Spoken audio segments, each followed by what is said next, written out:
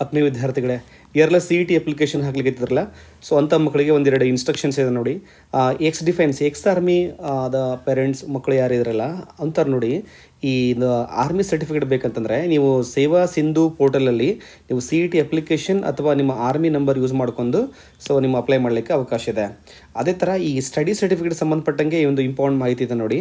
ಈ ಯಾರೆಲ್ಲ ಕರ್ನಾಟಕದಲ್ಲಿ ಮಕ್ಕಳು ಏಳು ವರ್ಷ ಕಲ್ತಿದ್ದು ನಮಗೆ ಸರ್ಟಿಫಿಕೇಟ್ ಬೇಕಾಗತ್ತೆ. ಸೊ ನೀವು ಒನ್ ಟು ಟೆಂತ್ ಕರ್ನಾಟಕದಲ್ಲಿ ಕಲ್ತಿದ್ದು ಟೆಂತ್ ಸ್ಟ್ಯಾಂಡರ್ಡ್ ಪಾಸ್ ಆಗಿದ್ದರೆ ಈ ಲೆವೆಂತು ಮತ್ತು ಟ್ವೆಲ್ತ್ದು ಸ್ಟಡಿ ಸರ್ಟಿಫಿಕೇಟ್ ಅವಶ್ಯಕತೆ ಇರೋಂಗಿಲ್ಲ, ನೆನ್ಪಿಡಿ. ಸೊ ನಮಗೆ ಬೇಕಾಗಿರೋದು ಕರ್ನಾಟಕದಲ್ಲಿ ಕಲ್ತಂಥ ಏಳು ವರ್ಷದ proof right so up to tenth ಸ್ಟ್ಯಾಂಡರ್ಡ್ವರೆಗೆ ನೀವು ಕಲ್ತಿದ್ರಂದರೆ, ಅದರಲ್ಲಿ ಏಳು ವರ್ಷ ಕವರ್ ಆಗುತ್ತೆ. ಸೊ ಹೀಗಾಗಿ ಏನಪ್ಪ ಈ ಏಳು ವರ್ಷದ್ದು ಸಾಕಾಗತ್ತೆ.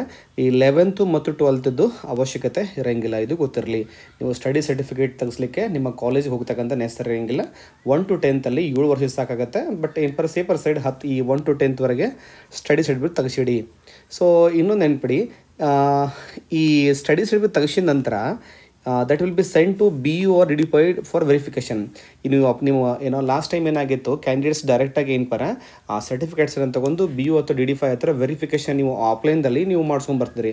ಬಟ್ ಇದನ್ನು ಏನು ಪರ ಡೈರೆಕ್ಟಾಗಿ ಬಿ ಯು ಅಥವಾ ಡಿ ಡಿ ಫೈಗೆ ಕೀಯನ್ನೇ ಕಳಿಸ್ಕೊಡುತ್ತೆ. ಹೀಗಾಗಿ ಈ ಏನೋ ಆ, ಡಿ ಡಿ ಪಿ ಐ ಅಥವಾ ಬಿ ಯು ಅದು ಸಿಗ್ನೇಚರ್ ಕೆಳಗಡೆ ಏನು ಆ ಸ್ಟಡಿ ಸರ್ಟಿಫಿಕೇಟ್ ಕೆಳಗಡೆ ಅವ್ರ ಸೈನ್ ಇರುತ್ತಲ್ಲ ಕೌಂಟರ್ ಸೈನು ಅದು ಮಾಡ್ತಕ್ಕಂಥ ನೆಸರ್ ಇರಂಗಿಲ್ಲ. ಇಲ್ಲಿ ಬರ್ತಾರೆ ನೋಡ್ರಿ counter sign is not required so ಹೀಗಾಗಿ ನೀವು ಡೈರೆಕ್ಟಾಗಿ study certificate one to ten ತಗಸ್ಕೊಂಡು so ನೇರವಾಗಿ ಅಪ್ಲೋಡ್ ಮಾಡಿ, ಕೆಳಗಡೆ ಬಿ ಯು ಅಥವಾ ಡಿ ಡಿ ಪೈ ಸಿಗ್ನೇಚರ್ ಅವಶ್ಯಕತೆ ಇರು